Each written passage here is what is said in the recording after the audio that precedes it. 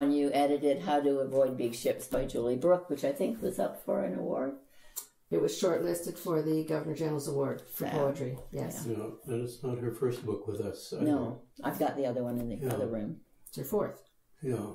Well, this is, you know, it's, by, by the time this book came around, um, the manuscript came to me having been chosen out of a hundred or more than a hundred. Um, a short list made first um, of oh, 13 or 14 books. And then we chose seven out of them, this being one of them.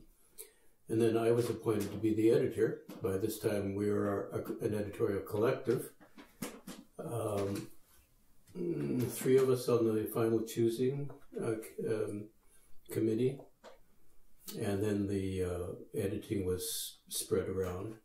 So, with this, uh, my job was to be the editor, which means I, I read it and read it and read it and tried to find out what might be cut and where things might be a little bit um, obscure, uh, whether um, a, a- slightly better word could be used here and there. And this is a back and forth, back and forth uh, process.